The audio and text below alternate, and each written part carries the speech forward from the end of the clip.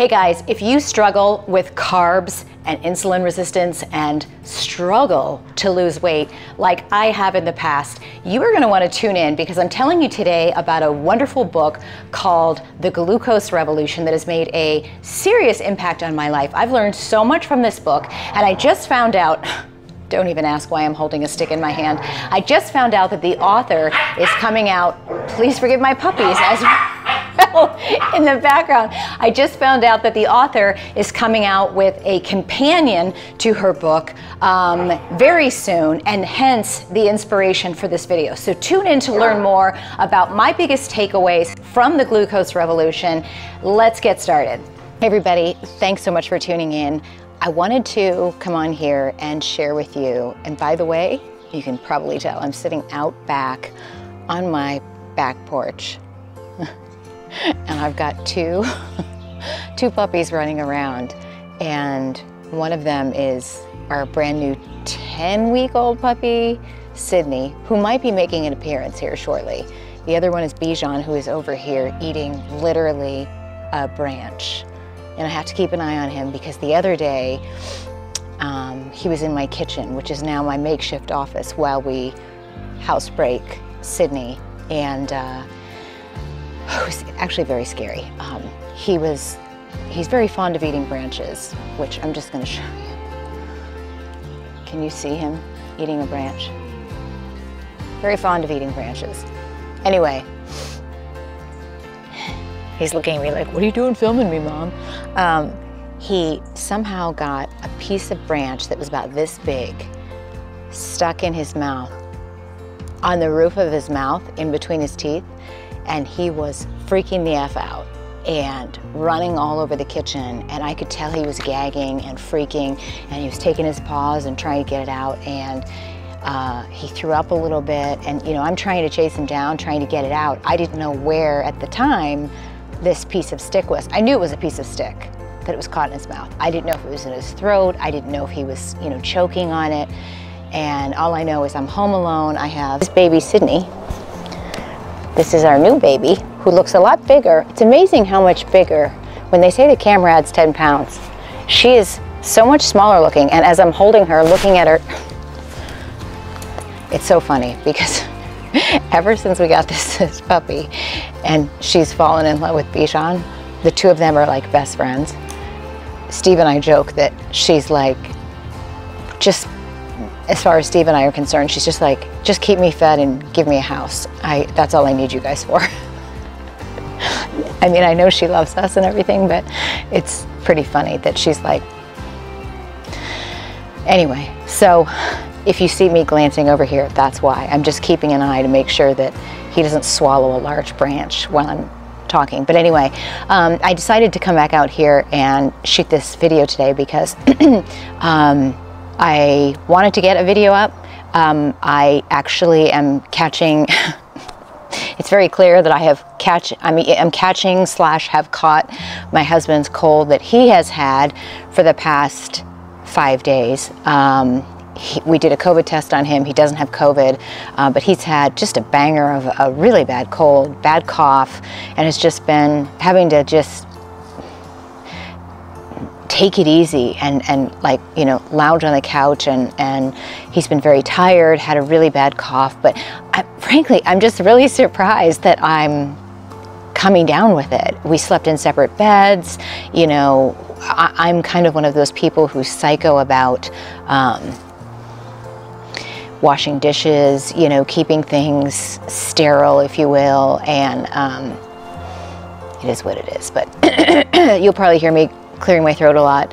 Um, I just, today, it became very clear, middle of the workday, I just started getting this dry cough and um, I ended up having to just take a nap with baby Sydney and um, I really don't feel well, very well right now. But that said, um, I didn't want to get into this bad habit that I was doing last year when I was having all these health issues of um, you know, with, with my YouTube channel of going, no, I'll just skip today. I'll publish on Friday, and then Friday comes along and something happens on Friday, and you know, it's just it's so easy. Whether it's your YouTube channel or your workouts or your work or a certain project or whatever, to give yourself a hall pass on things, and if you can, without endangering yourself, without you know, in this case, Am I making myself sicker by publishing my video? No. Um, do I really feel like shooting my video right now? No. But can I slap on a little bit of makeup and put a filter on right now and shoot this? Yes. So I'm going to rally and I'm doing it. But what I thought I would talk about today is um, something I've referenced in several of my past videos on keto and insulin resistance, and that is this book that I read that made a huge impact on me that I strongly recommend. I will link it down below. Um, and some of the key takeaway points that I'm utilizing on a regular basis. And, and again, this book and the reason I'm doing this, you know, video and bringing this up is I just saw on Instagram that she is coming out with, and I'll have to look up the date, and, and then I'll put this down below in the link. I think it's, you know, sometimes authors will say, oh, I'm coming out with this book, and then plain. It's, uh, for myriad reasons. Um, not only so it doesn't take a year once you have an idea and and then you get it out for people to buy, but also because you get to keep more of your money.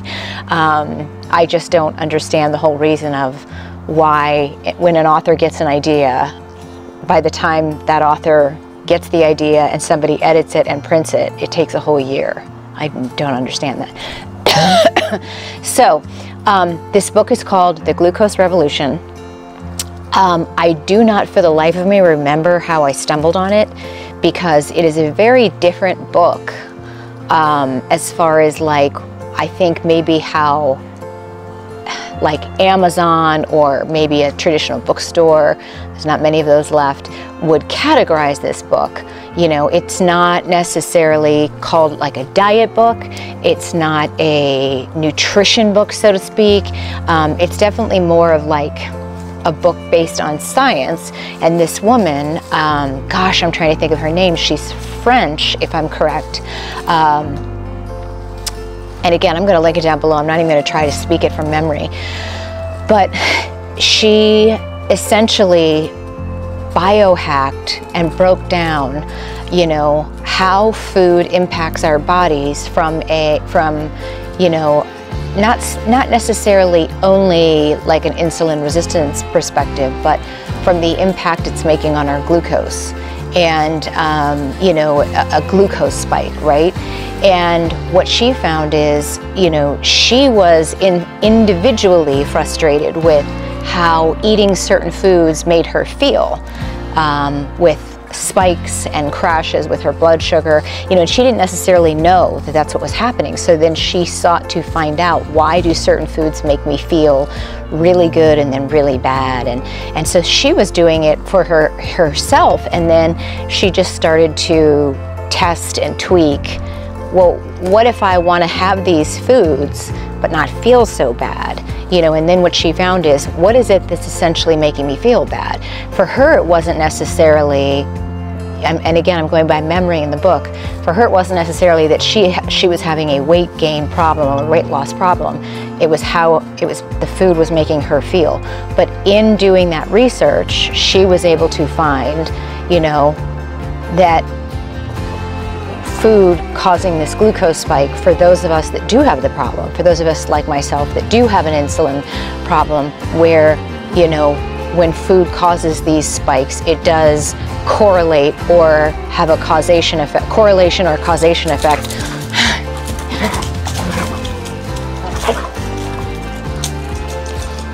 That's what's going down right now. It's all good times. Um, in the beginning, I used to freak out and think they were hurting each other, but they're not.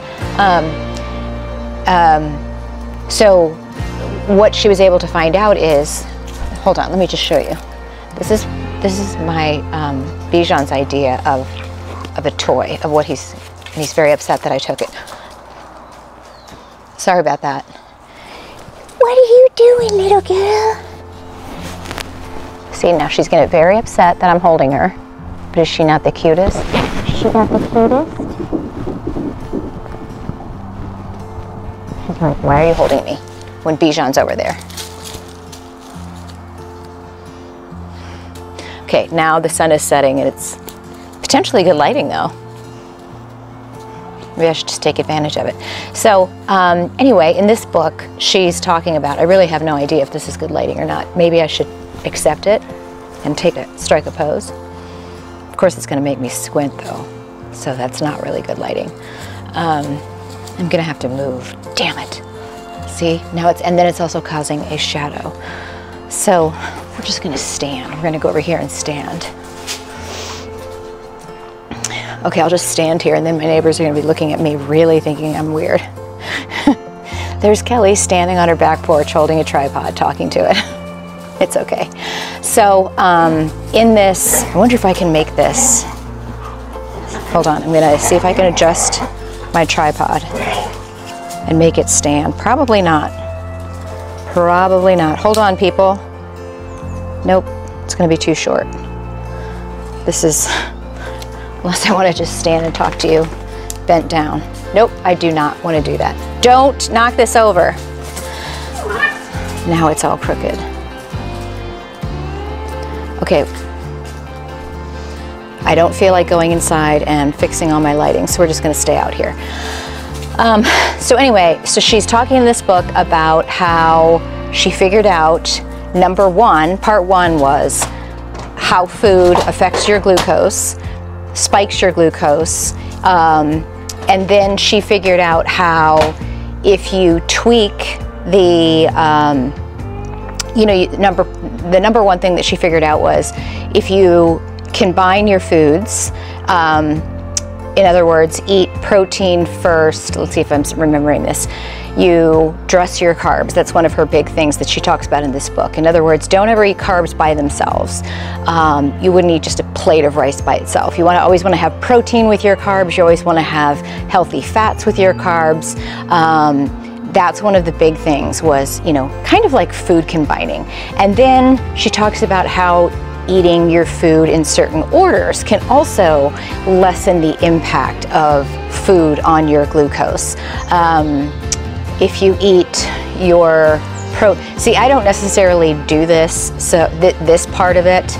Um, so this is this is not a technique that I'm using as much, but so I don't remember this, and I hope I'm articulating this correctly. Um, I think it's like you can eat vegetables first, then your proteins. And it, by the way, when when we're talking about these eating these foods in order, it's not like eat your vegetables, wait 10 minutes, then eat your protein, wait 10 minutes, then eat your fats. It's not like that.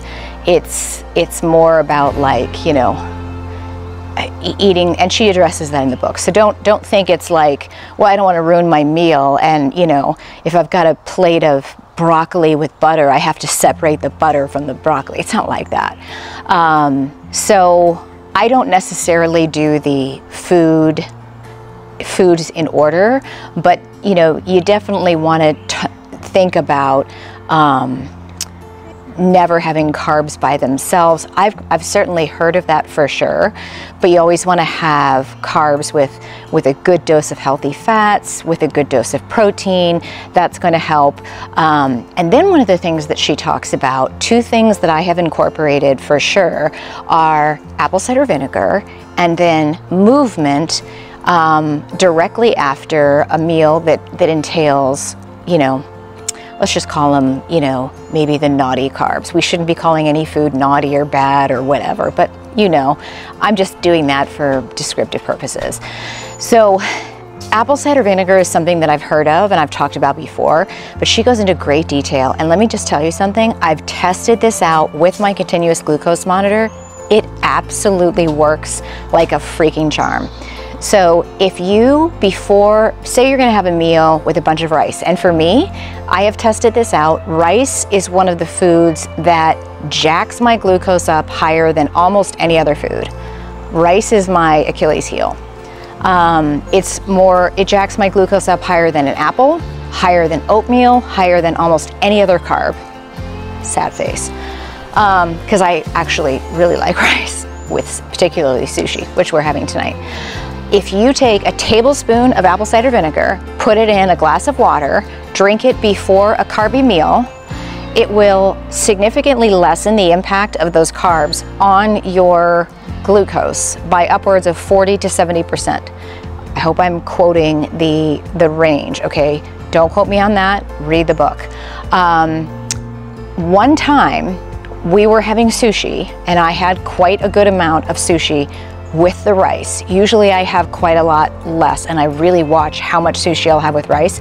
I had a good amount of sushi. My, my um, continuous glucose monitor gave me an alert and my, my glucose had spiked to 164. You're not supposed to let your glucose spike over 140, okay? I went in and I had a, I took apple cider vinegar in water took a glass, and within 25 minutes, it was back down to 120. So from 164, it went to 120 in 25 minutes. That's how well that works.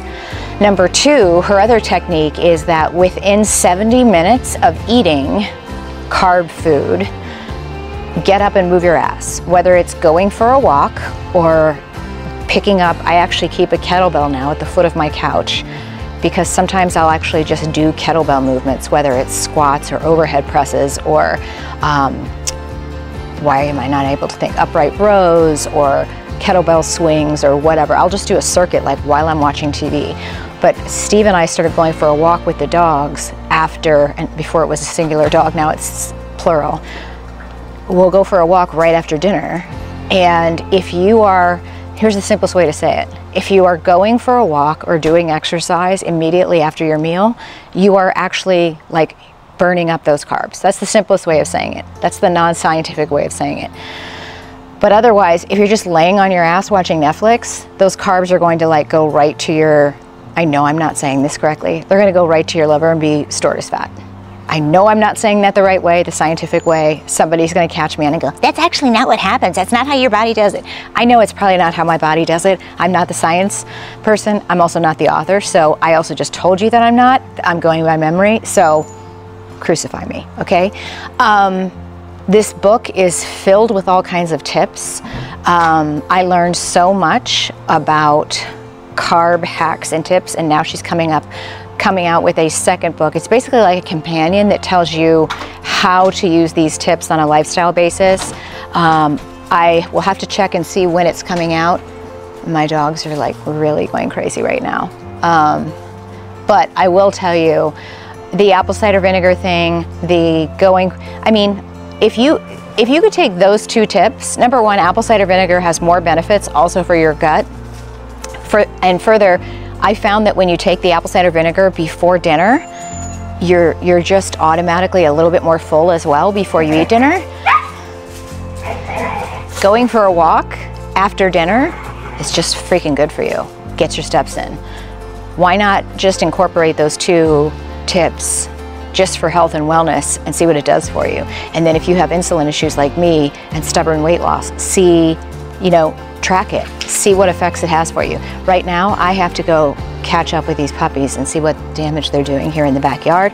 Plus, husband is bringing sushi home, so I've got to go pour myself some apple cider vinegar and water and get ready, and then we're going to take these guys for a walk and then we're going to enjoy our evening. So I hope this was helpful for you. Definitely click the link below. Definitely get, get yourself a copy of the Glucose Goddesses um, Glucose Revolution book. Definitely follow her on Instagram and on TikTok. She gives out great um, little blurbs uh, and tips on videos. She's fantastic. I love her. And also pray that I don't get a really bad cold and have to sit home and be on the couch all weekend because uh, I hate being sick. It sucks. And I will talk to you guys soon. Thanks for tuning in. I'll see you guys next time on The Kelly O Show. Thanks everybody for tuning in. I hope this video was helpful. Of course, I'm gonna link up here to all of my other videos on keto, low carb, and all that goodness. If you have any questions, of course, please be sure to leave them in the comment below or email me, kelly at kellyolexa.com.